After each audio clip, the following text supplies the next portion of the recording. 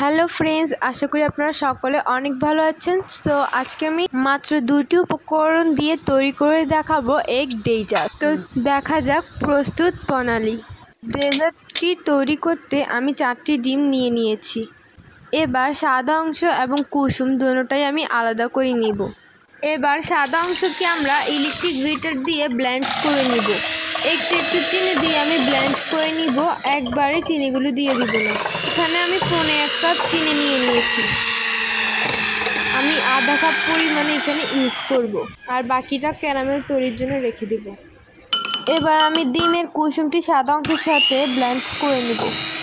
যাদের বাসায় electric bitter নেই, তারা চাইলে হ্যান্ড পিস দিয়েও এভাবে তৈরি করে নিতে পারবেন।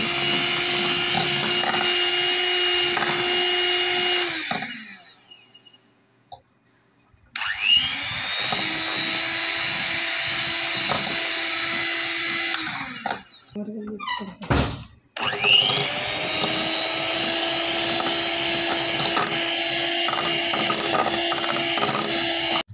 আমার ব্ল্যান্ড করা শেষ। তো ব্ল্যান্ড করার পর ঘনত্বটা ঠিক এমনই হবে। তো একটি পাত্রে আমি ক্যারামেল তৈরি করার জন্য দু টেবিল চিনি নিয়ে নিলাম। ক্যারামেলটা লাল কালার আসা পর্যন্ত আমাদের অপেক্ষা করতে হবে। আর হালকা একটু নেড়ে চেড়ে নিব। চুলার হিট অর পাঁচে রাখতে হবে। তো আমাদের ক্যারামেল তৈরি হয়ে গিয়েছে, তা আপনারা দেখতেই পাচ্ছেন। আরেকটি পাত্রে আমি পর্যাপ্ত পরিমাণে পানি দিয়ে নিয়েছি। অন্যদিকে ক্যারামেলটি ঠান্ডা হওয়ার পর আমরা উপকরণগুলো ক্যারামেলের পাত্রে ঢেলে নিলাম।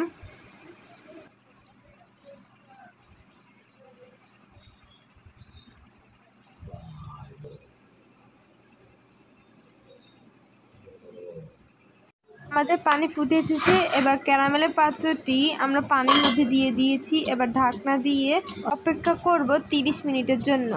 ফিরে আসলাম 30 মিনিটের পর। আমাদের এগ ডেজার্টটি আপনারা দেখতেই পাচ্ছেন কতটা সুন্দর হয়েছে। সো তৈরি হয়ে গেল আমাদের এগ ডেজার্ট। এটা খেতে অনেক সুস্বাদু। আপনারাও বাসায় ট্রাই করে দেখতে পারেন। সো আজ এই পর্যন্তই। আল্লাহ হাফিজ। দেখা হবে অন্য একটি রেসিপির সাথে। So bye bye